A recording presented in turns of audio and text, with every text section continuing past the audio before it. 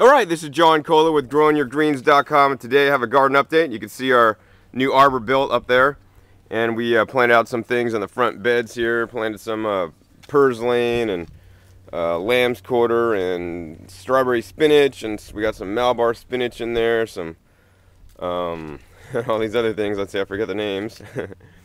but everything's growing really good. You can see actually almost have a uh, ripe tomato here on this uh, tomato plant. This is a really compact variety. This is actually called a patio tomato, I believe.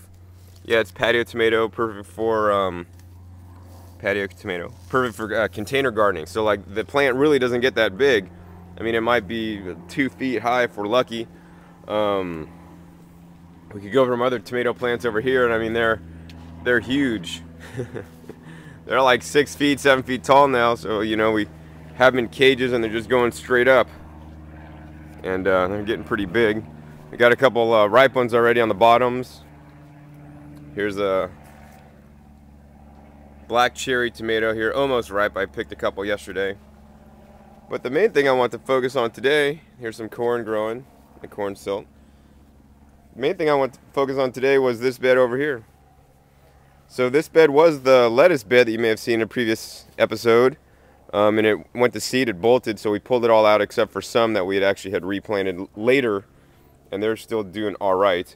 But what we did plant is I'm trying to do crop rotation, so aside from the lettuces that were pre-existing, we planted a whole bunch of different things. So we planted basically like a bok choy and a Napa cabbage to, you know, grow something a little bit different. And uh, they seem to be doing pretty well, so there's, you know, over a hundred plants in this bed here and uh, let's see the thing that we need to do is it's uh, summertime in California gets to be maybe you know in low 90s in the daytime. Gets really hot and it's you know not as dry as Las Vegas but it's you know not humid like Hawaii either. So it gets a little bit dry too. I have the drip irrigation coming on once a day in the morning for a little bit to get them wet. And sometimes if I remember I'll, I'll punch the manual override and, and have it go off in the, at the day um, you know in the middle of the day just to get you know the roots wet. And I wouldn't overhead water during the day because if you get water on the leaves, it's, it's it could definitely burn the leaves because the water as the water evaporate gets too hot or something like that. But um, but yeah, so what I have to do is actually uh, we at the end of the day, some of the leaves are really like wilting and not looking good, and in some cases like this one here, they actually won't make it. So we found it best to like right around noon, we'll put the shade cloth on, you know, until about I don't know five and take it off and that seems to um, you know prevent this from happening if we get lazy we'll actually just leave the shade cloth on. But um, yeah so greens growing uh, very important. Um, definitely crop rotation very important. Um, keeping them shaded very important. I was talking to my friend um, who lives in San Diego and she's going on vacation for a couple days so she's actually just going to put a shade cloth over her plants for a couple days while she's gone so they just don't burn so yeah, that's the update with the uh, the greens bed here with the hoops. And why don't we move on over here? Everything's growing really well. We've had uh, lots of zucchinis here. Let's see if we could uh, find some over here. It's like a, it's like a jungle through here now. The pathways are totally overgrown. Trying to keep it clipped back as much as we can, but oh yeah, here's some. Uh, oh, that's a big one there. Sunburst squash here. Um, the peppers, oh my gosh, I've been neglecting my pepper plants, and look, I have a whole bunch of ripe ones. So guess what I'm eating for dinner tonight? I don't know. Let's see. It's probably gonna be some uh, some bok choy with uh, bell pepper and tomato sauce. but yeah, there's a whole bunch on that one. So I mean, I know I did a, a video on this bed right when we planted it out, and look at it now. It's just so amazing. A lot of things growing. Still have lots of dino kale going over here. So that's been uh, making green smoothies out of those and blended salads for dinner at night. And uh, have a pomegranate tree here, and these are the pomegranate actually uh, flowers. So those are closed, and this is what happens when they open up. Really beautiful. I, I haven't, I've yet to try the pollen on pomegranate flowers actually. I don't know if I want to, maybe I'll just try a little bit. But yeah, lots of things are growing here. Oh, there's a there's a cucumber there. Oh, that's a good cucumber. That's like a Persian cucumber, so it's like uh, doesn't have too many um, spines on the outside, and it's really soft and smooth, much like an English cucumber.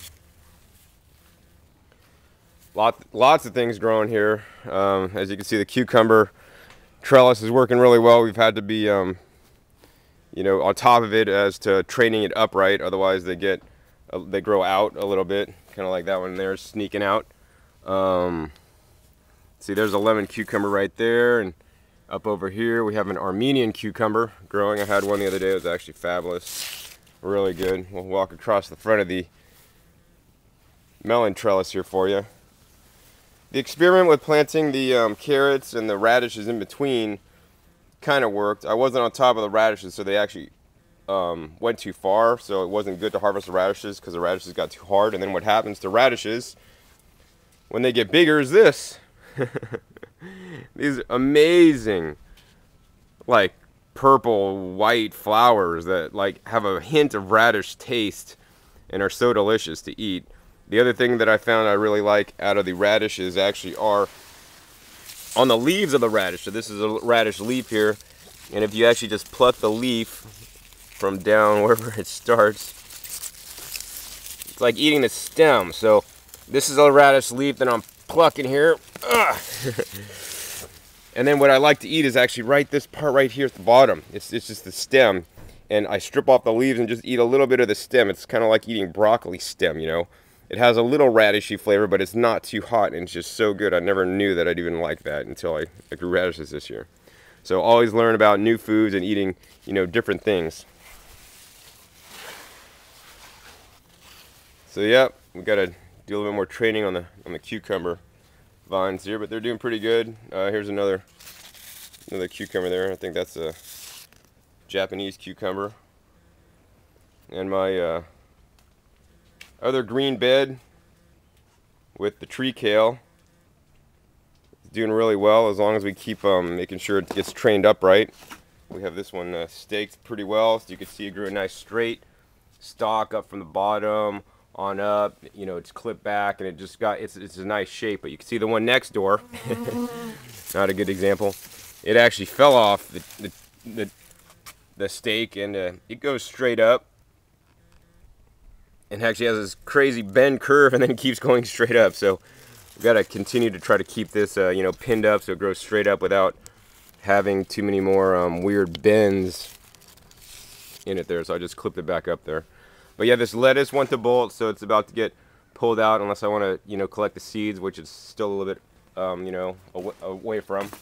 And we did plant, you know, some more greens in the bottom of this. Walking stick kale that I planted over here is doing real well. It's, uh, you know, got a nice, really thick stalk. I mean, geez, that thing's so huge. Kale uh, doesn't taste that good to me. I, I usually use it in blended smoothies or blended salads. It's not the best tasting kale. But the, um, the tree kale, though, that's, that's excellent, excellent tasting kale. So I think that's about the updates for today. There's, oh, there's a couple cucumbers I need to pick, so maybe I'll, I'll, I'll get running here. But that's the uh, garden update. John Kohler with growingyourgreens.com. And remember, you can grow your own greens.